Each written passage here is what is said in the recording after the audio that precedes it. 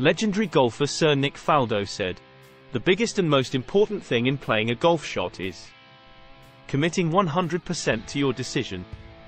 Commitment in terms of the stroke, your emotion and your feel. If you would like to work with a sports psychologist to help improve your golf game then visit sportingbounce.com. Sports psychologists from all around the world advertise their services on sportingbounce.com and you can find them at the click of a button.